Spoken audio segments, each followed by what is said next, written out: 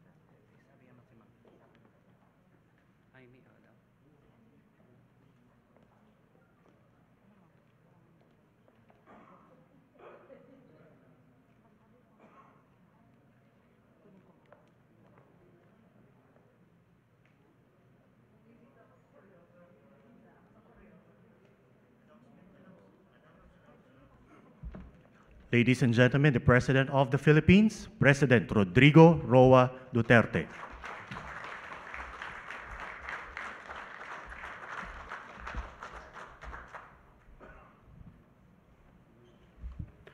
We may now be seated. We shall now witness the President signing into law the bill creating the Department of Migrant Workers. May we invite our distinguished guests to join the President and witness the signing and enactment of this law.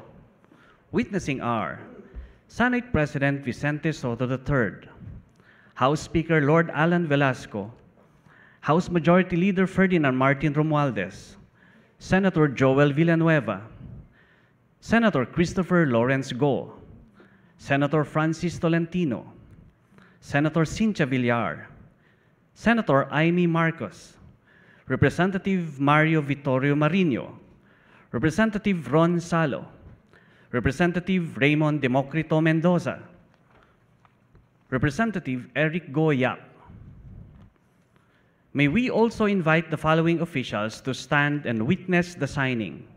Executive Secretary Salvador Medialdea, Foreign Affairs Secretary Teodoro Locsin Jr., Labor and Employment Secretary Silvestre Bello III, Cabinet Secretaries and Presidential Spokesperson Secretary Carlo Alexino Nograles, Acting Presidential Advisor on Legislative Affairs Secretary Luzverfeda Pascual, Presidential Advisor on OFW Abdullah Mamao, Representative Mark Go, House Secretary General Mark Leandro Mendoza, OWWA Administrator Hans Leo Cacdac, and POEA Administrator Bernard Olalia.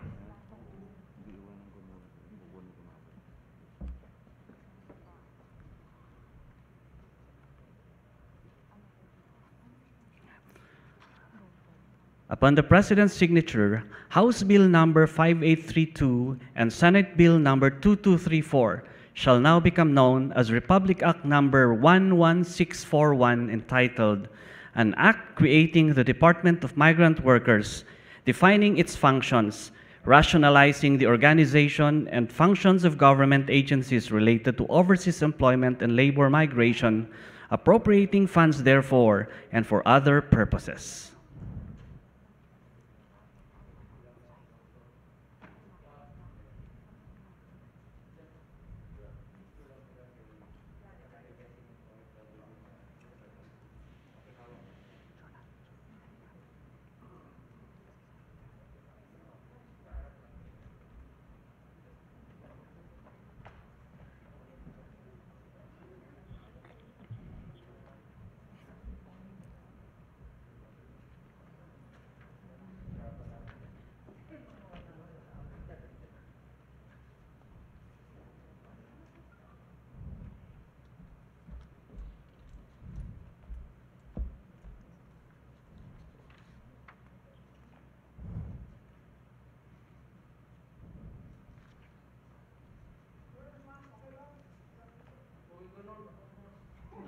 May we invite everyone to face the cameras for a quick photo opportunity.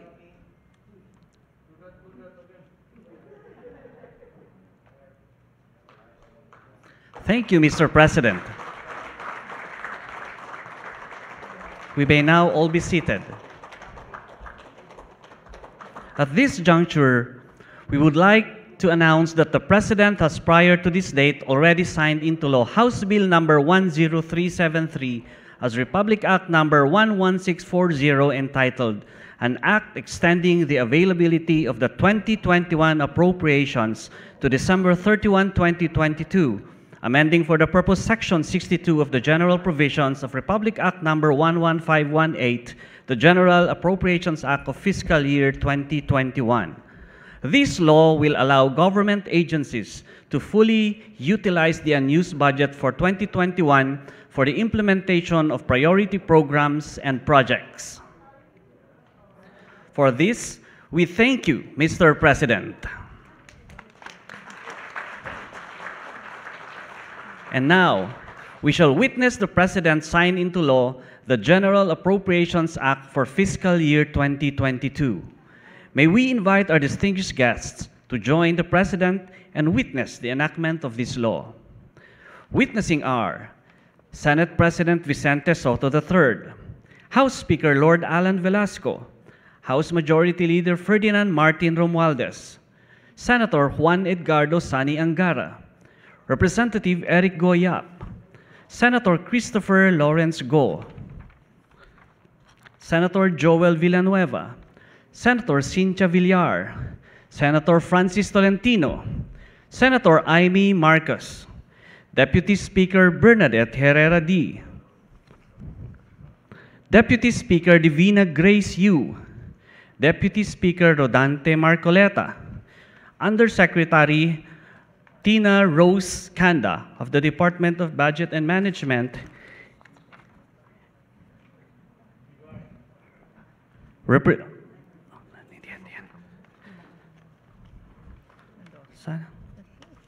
Representative Mark Go, Representative Democrito Mendoza, Representative Marvi Marino,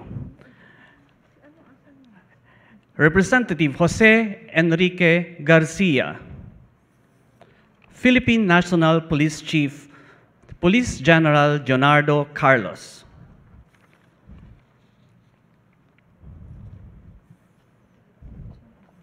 May we also invite the following officials to stand and witness the signing of this law. Executive Secretary Salvador Medialdea, National Defense Secretary Delfin Lorenzana, Agriculture Secretary William Dar, Labor and Employment Secretary Silvestre Bello III, Cabinet Secretary and Presidential Spokesperson Secretary Carlo Alexei Nograles, Trade and Industry Secretary Ramon Lopez, Social Welfare and Development Secretary Rolando Joselito Bautista, Interior and Local Government Secretary Eduardo Año, Education Secretary Leonor Briones, Higher Education Chairperson J. Prospero Mendo, uh, de Vera, Acting Information and Communications Technology Secretary Emmanuel Rey Caintic, Public Works and Highways Acting Secretary Roger Mercado, Acting Presidential Advisor on Legislative Affairs Secretary Luzverfeda Pascual, National Security Advisor Secretary Hermogenes Esperon, Presidential Advisor on the Peace Process Secretary Carlito Galvez, Technical Education and Skills Development Authority Secretary Isidro Lapeña, House Secretary General Mark Leandro Mendoza. Upon the President's signature, House Bill number 10153 shall now become known as Republic Act number 11639 entitled An Act Appropriating Funds for the Operation of the Government of the Republic of the Philippines from January 1 to December 31, 2022.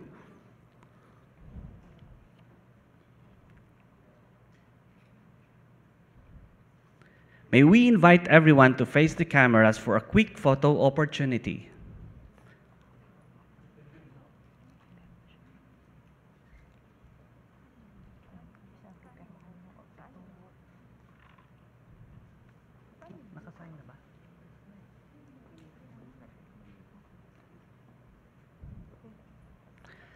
Thank you, Mr. President.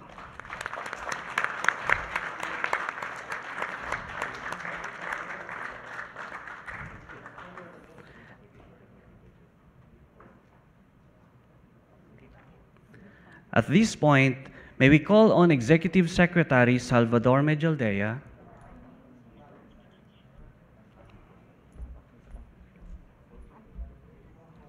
One more picture.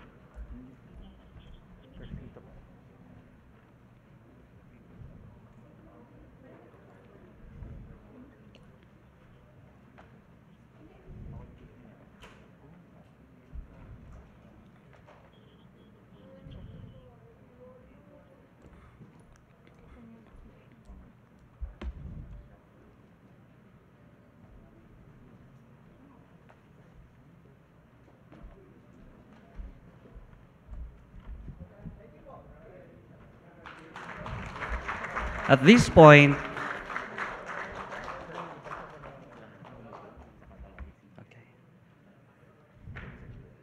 may we now request your honors to take your respective seats.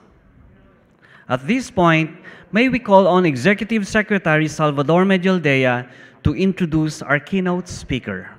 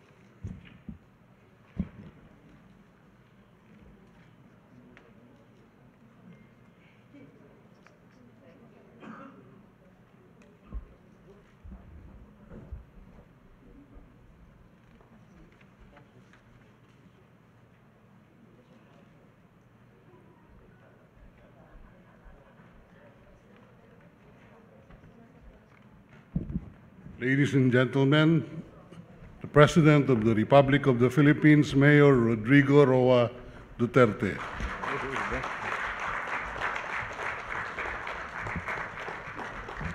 Kindly sit down. Salamat po. Senate President Vicente Soto, ah, nandito po kayo. Ah, I would like to apologize for the Rocos. Eh, hindi naman kasalanan namin yun. They're very strict. Ah, ah, well, that is ah, trabaho nila yan. So, If there are lapses, uh, I apologize to you publicly. House Speaker Lord Alan Velasco. Yes, sir. Executive Secretary Salvador Medialdea, Senator Bong Go, Education Secretary Leonor Briones, National Defense Secretary Delfin Lorenzana, Cabinet Secretary and Acting Presidential Spokesperson Carlo Alexei Nograles, Trade and Ministry Secretary Ramon Lopez, Social Welfare and Development Secretary Rolando Bautista, Interior and Local Government Secretary Eduardo Año, National Security Council Secretary Herbujeres Spiron, Presidential Advisor for Peace, Reconciliation, and Unity, Carlito Galvez, TESDA Director, Isidro Lapeña, Presidential Advisor on Legislative Affairs, Secretary Lucifer Pida Pascual, Agrarian Reform Secretary Bernie Cruz, Information and Communication Technology Secretary Acting Secretary Emmanuel Caintic, Budget and Management Officer in Charge Tina Rose Mary Kanda, Senator Juan Edgardo Angara, Senator Cynthia Villar, Senator Joel Va- Villanueva, Senator Jaime Marcos, Senator Francis Tolentino, House Majority Leader Fernando Martin Romualdez,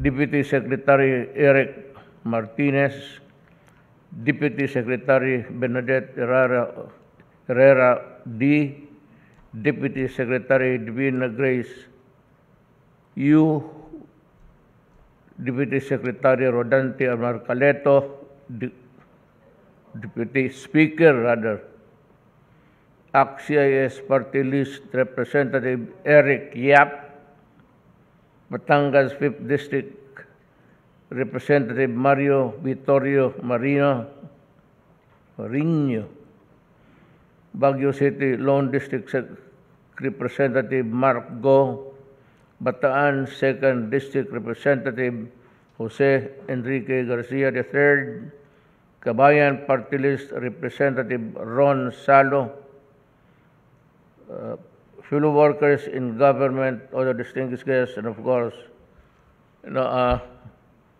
my wife, uh, kinausap lang niya si uh, Senator Marcoleta kasi believe siya. Ang department believe siya sa tao. Department secretary department secretary agr matak talaga agrarian reform William Dar. Hindi ito siya. Sino nagsulat ito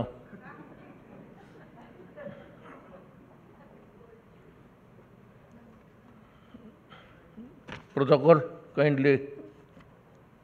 Isa uli mo to. Sino nagsulat nito tapong yan sa Pasig oh. It's agrarian reform. It's uh, Secretary of Agri- Agriculture, William Dar.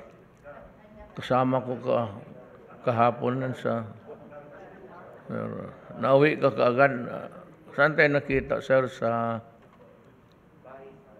Vice? Uh, okay.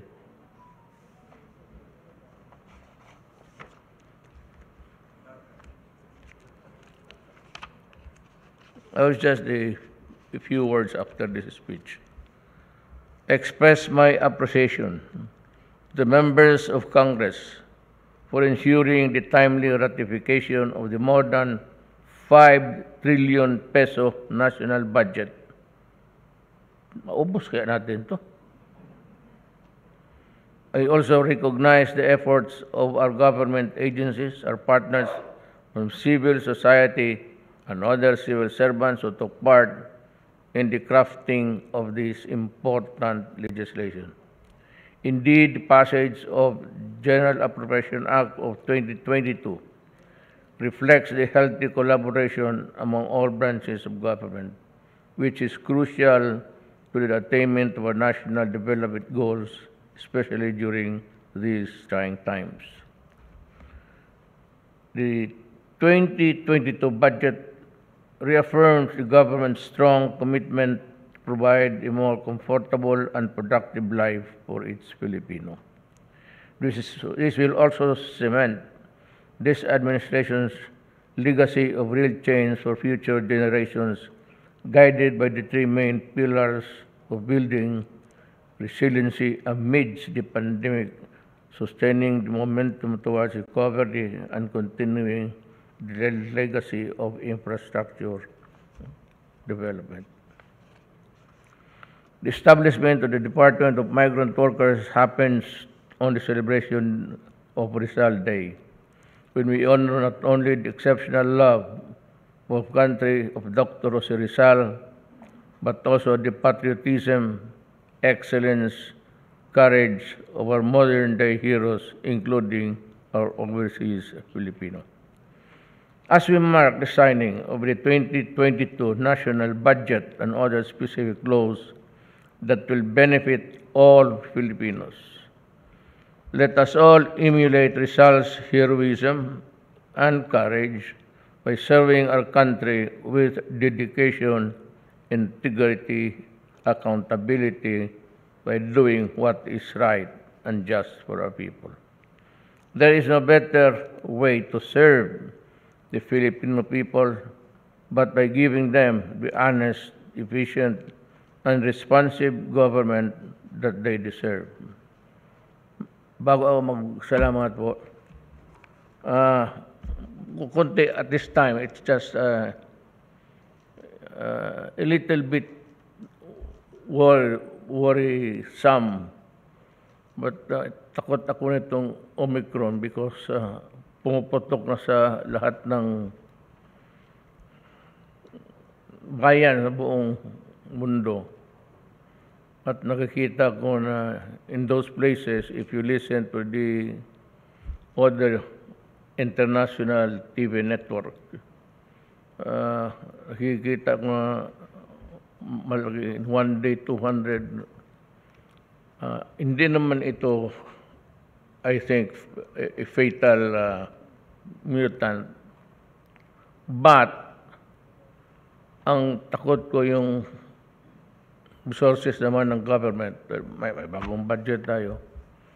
Pero that would not really help in, in sa ano natin, in our desire to rebuild because wag lang sana if we are hit with the easy transmission of the character of this mutant, we will have again the same problem.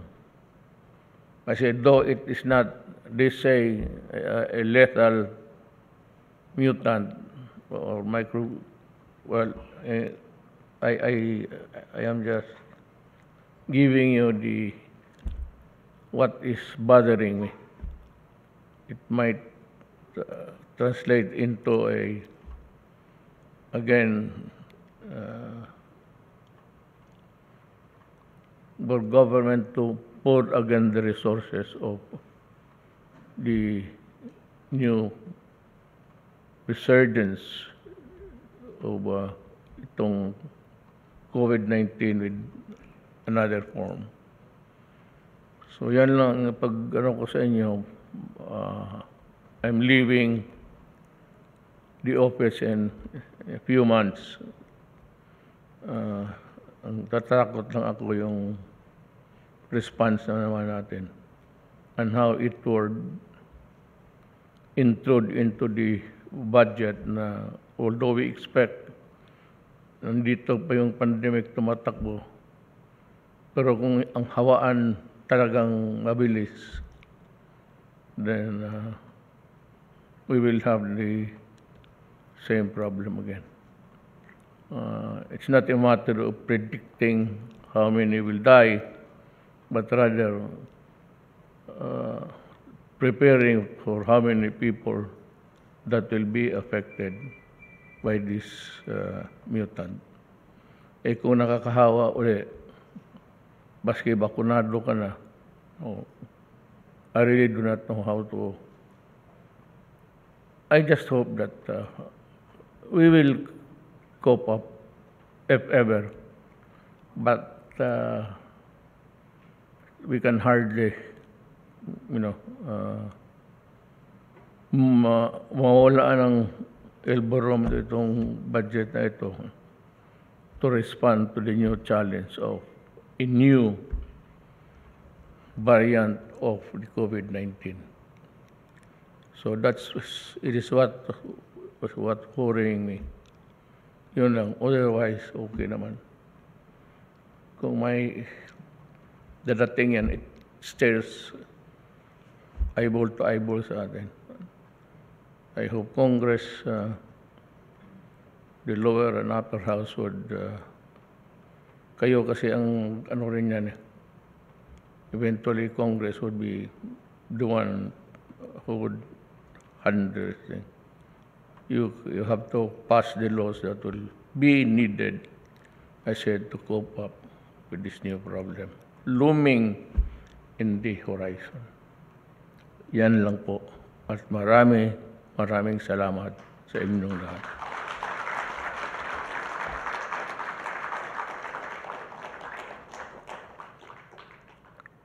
Wala na po. Yun lang. Thank you, Mr. President. A round of applause. Ladies and gentlemen, that concludes our program.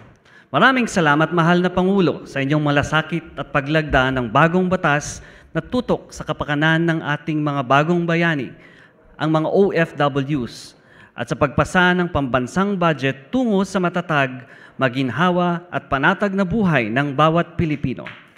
Again, ladies and gentlemen, President Rodrigo Roa Duterte.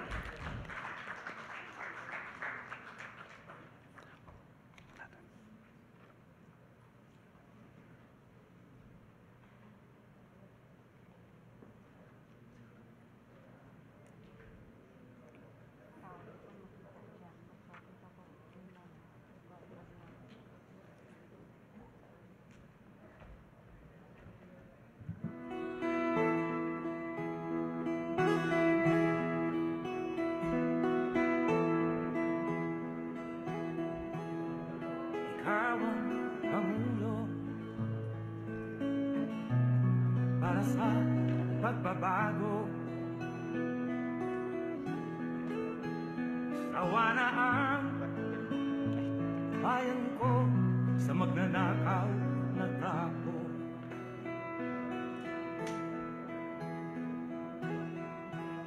Madilim na kahapon. Ikaw ang mag-aahon. Sa piling Ko mawawala ang korupsyon.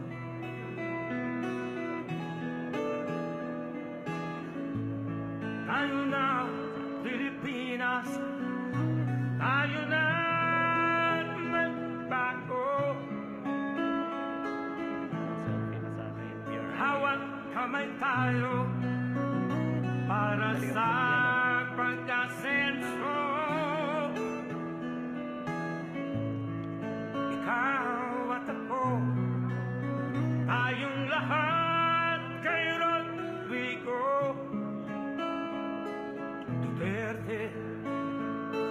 para sa tunay na pagbabago.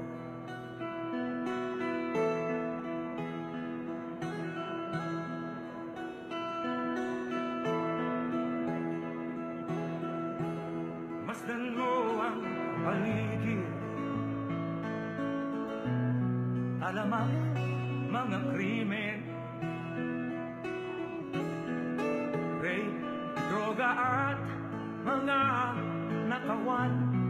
Dapat nga